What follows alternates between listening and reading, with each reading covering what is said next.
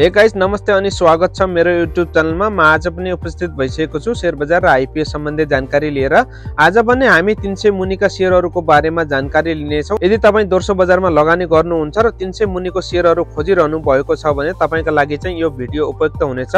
र बजारमा तिन सय मुनिका सेयरहरू कुन कुन हुन् कुन सेक्टरका हुन् र प्रतिकिता प्राइस कति रहेको छ भनेर सम्पूर्ण जानकारी लिनेछौँ। यो सम्पूर्ण जानकारी लिनको लागि भने तपाईँले भिडियो अन्तिमसम्म हेर्नु होला भिडियोलाई स्किप नगर्नु होला र तपाईँ पनि यस्तै सेयर बजार र आइपिओ सम्बन्धी जानकारी लिन चाहनुहुन्छ भने तपाईँले युट्युब च्यानललाई सब्सक्राइब गर्न सक्नुहुन्छ र नजिकैमा रहेको बेल आइकनलाई क्लिक गर्न सक्नुहुन्छ।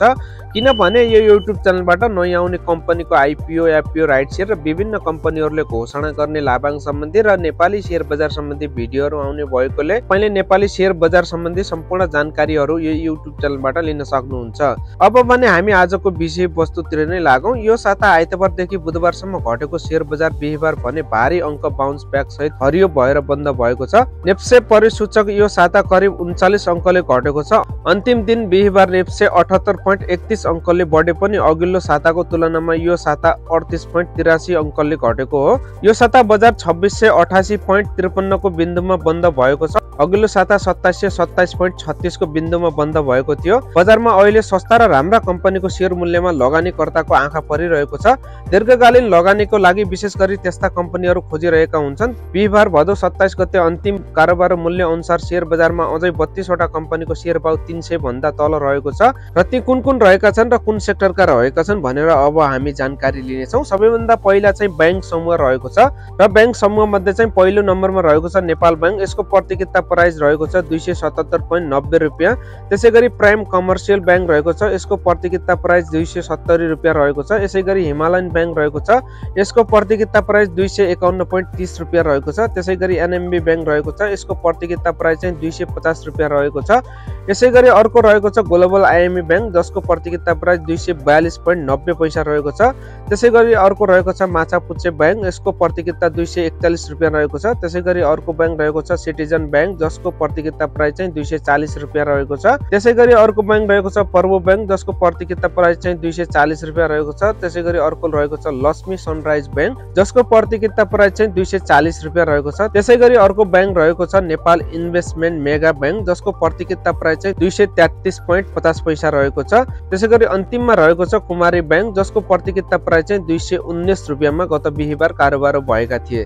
यसै गरी हाइड्रो सेक्टर अथवा जलविद्युत समूहमा रहेका छन्। फर्स्टमा रहेको छ green life hydro power company. यसको प्रतिकिता प्राइस चाहिँ दुई सय छयानब्बे पोइन्ट नब्बे पैसा रहेको छ। त्यसै गरी अर्को दोस्रो नम्बरमा रहेको छ माउन्टेन हाइड्रो। यसको प्रतिकिता प्राइस चाहिँ दुई सय बयानब्बे रुपियाँ रहेको छ। यसै गरी अर्को रहेको छ Arun valley hydro power limited. यसको प्रतिकिता प्राइस चाहिँ दुई सय उनानब्बे रुपियाँ रहेको छ। यसै गरी अर्को रहेको छ लिबर्टी इनर्जी। यसको प्रतिकिता प्राइस चाहिँ दुई सय सतहत्तर रुपियाँ रहेको छ। त्यसै गरी अर्को कम्पनी रहेको छ युनियन हाइड्रो। जसको प्रतिकिता प्राइस चाहिँ दुई सय पचहत्तर रुपियाँ रहेको छ। त्यसै गरी अर्को हाइड्रो पावर रहेको छ Panchakanya Mai hydro power limited. यसको प्रतिकिता प्राइस चाहिँ दुई सय बहत्तर रुपियाँ रहेको छ।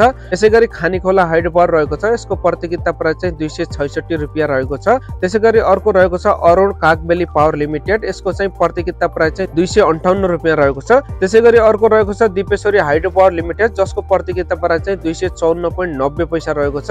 त्यसै गरी अर्को रहेको छ सिङ्गटी हाइड्रो जसको प्रतिकिता प्राइस चाहिँ दुई सय बाहन्न पोइन्ट असी रुपियाँ रहेको छ। त्यसै गरी अर्को रहेको छ रेडी पावर लिमिटेड जसको प्रतिकिता प्राइस चाहिँ दुई सय बयालिस रुपियाँ रहेको छ। त्यसै गरी अर्को रहेको छ नेसनल हाइड्रो पावर जसको प्रतिकिता प्राइस चाहिँ दुई सय पैँतिस रुपियाँ रहेको छ।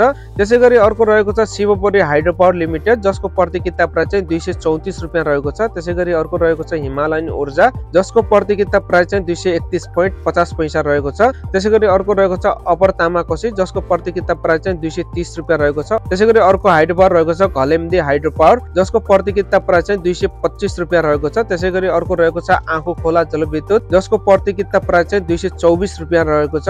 यसै गरी अर्को रहेको छ अन्तिममा हिमालयन दोलखा हाइड्रो पावर जसको प्रतिकिता प्राइस चाहिँ दुई सय सत्र रुपियाँ रहेको छ। साथीहरू यी त थिए तिन सय मुनिका हाइड्रो सेक्टरका सेयरहरू। अब पनि हामी लगानी समूह अथवा इन्भेस्टमेन्ट सेक्टरमा रहेका सेयरहरूको बारेमा जानकारी लिनेछौँ। पहिलो नम्बरमा रहेको छ नेफ्रा जसको प्रतिकिता चाहिँ दुई सय पचासी पोइन्ट बिस रुपियाँमा कारोबार भएको थियो गत बिहिबार। यसै गरी अर्को दोस्रो नम्बरमा रहेको छ एचआइडिसी एचआइडिसिएल जसको प्रतियोगिता प्राइस चाहिँ गत बिहिबार दुई सय पचासी रुपियाँमा भएको थियो भने एचआइडिसिएलपी प्रमोटरको भने एक सय पचहत्तर पोइन्ट नब्बे पैसामा कारोबार भएको थियो। यी जति पनि तिन सय मुनिका सेयरहरू छन् यी भने गत बिहिबारको डाटा अनुसार लिएको हो। यदि तपाईँ दोस्रो बजारमा लगानी गर्नुहुन्छ र सस्ता खालका तिन सय मुनिका सेयरहरू खोजिरहनु भएको छ भने तपाईँका लागि यो भिडियो उपयुक्त हुन सक्छ अथवा यी सेयरहरू चाहिँ तपाईँको लगानीको लागि चाहिँ उपयुक्त हुन सक्छन्। हस्त साथीहरू तपाईँले जानकारी पाइसक्नुभयो बजारमा सस्ता सेयर कुन कुन रहेका छन् र तिनको प्रतियोगिता मूल्य कति रहेको छ र कुन सेक्टरका रहेका छन् भनेर जानकारी पाइसक्नुभयो। यी सबै सेयरहरूको मूल्य भने तिन सय भन्दा तल रहेको छ र तपाईँले चाहिँ यी कम्पनीको बारेमा अध्ययन गरेर तपाईँले लगानीको आफ्नो स्ट्राटेजी बनाउन सक्नुहुन्छ। हस्त साथीहरू तपाईँले जानकारी पाइसक्नुभयो बजारमा सस्ता सेयर कुन कुन रहेका छन् भनेर फुल डिटेलमा। आजको लागि यति नै। यस्तै सेयर बजार र आइपिओ सम्बन्धी भिडियो ल्याएर म आउने नै छु। तबसम्मको लागि बिदा हुन्छु। नमस्ते।